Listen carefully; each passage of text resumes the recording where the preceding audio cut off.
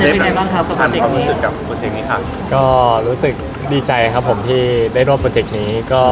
ตื่นเต้นนะครับพูดไม่เก่งก็ขออภัยด้วยนะครับ ใน part ของเราจะเป็นอะไรยังไงคะใน part พอจะทราบของ ของผมครับเนื้อเรื่องเหรอครับ ครับใช่ บทบาทอะไรอย่างเงี้ย ของผมรับบทเป็นเจครับ ซึ่งมีเพื่อนสนิทคนหนึ่งชื่อซองฮุน ก็เรื่องมันก็มีเหตุฆาตกรรมที่แบบเราบริเวณมหาลัยครับ แล้วมันก็เริ่มเชื่อมโยงกับตัวเรามากขึ้น เชื่อมโยงกับกลุ่มเพื่อน ก็ทำให้ทุกคนเนี่ย ตามหาความจริงว่าฆาตกรเป็นใครหรือแบบนี้ครับ อืมบทบาทมันท้าทายไหมครับ เพราะว่าเป็นแนวสืบสวนสอบสวนด้วยใช่ไหมครับ ท้าทายครับ อืม แล้วก็ตื่นเต้นครับ มีแบบแอคชั่นด้วยมีแบบอะไรแบบนี้คือหลายถ่ายทำไปบางส่วนเราเป็นไงบ้างอะไรนะครับถ่ายทำ ไปบ้างอย่างอ๋อ ถ่ายเสร็จเรียบร้อยแล้วครับ อ่าเป็นไงบ้างครับกับการถ่ายทำ ก็ผมว่าประสบการณ์เยอะมากครับ เพราะเหมือนการถ่ายทำที่เกาหลี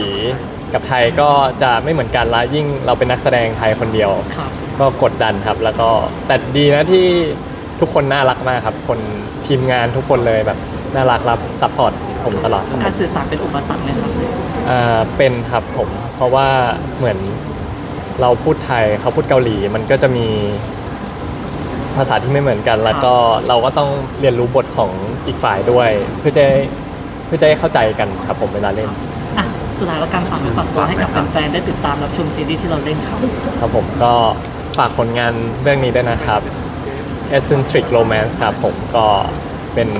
โปรเจกต์พิเศษละกันครับผมก็ฝากทุกคนด้วยนะครับ เมื่อไหร่อะไรอย่างเงี้ย